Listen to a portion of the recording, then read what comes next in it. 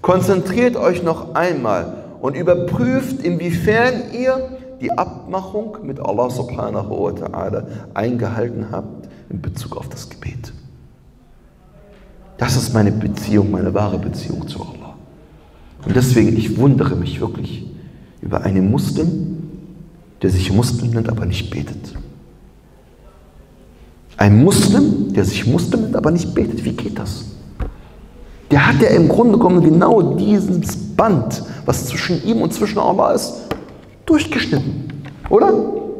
Ich meine, die wichtigste Abmachung zwischen mir und zwischen Allah ist meine Beziehung zu ihm. Und ich bete nicht. Ich habe sie durchgeschnitten. Was bringen mir dann auch die anderen Abmachungen? Wenn ich das Hauptseil durchgeschnitten habe. Sie bringen mir eigentlich im Grunde genommen nichts mehr. Und deswegen sagt der Prophet sallallahu alaihi wasallam, meine lieben Geschwister im Islam, er sagt nicht umsonst, das Erste, wonach der Mensch am jüngsten Tag gefragt wird, ist das Gebet. فإن صلحت صلح سائر عملي. Wenn es gut ist, korrekt verrichtet wurde, du deine Beziehung zu Allah aufrechterhalten hast, so ist der restliche Teil deiner Taten ebenfalls gut. Warum? Weil du nämlich das Hauptband zwischen dir und zwischen Allah bewahrt hast und daran festgehalten hast. Wenn es aber durchgeschnitten wurde, dieses Band, was ist dann? Dann sind die restlichen Taten ebenfalls schlecht, werden nicht angenommen. Warum? Weil sie gelangen nicht zu Allah subhanahu wa ta'ala. Das ist die Grundlage in deiner Beziehung zu Allah. Und deswegen, meine lieben Geschwister, ich weiß, Alhamdulillah, dass alle, die hier sitzen, beten, Allah Azza wa Aber überprüft immer wieder euer Gebet. Haltet an diesem Gebet fest.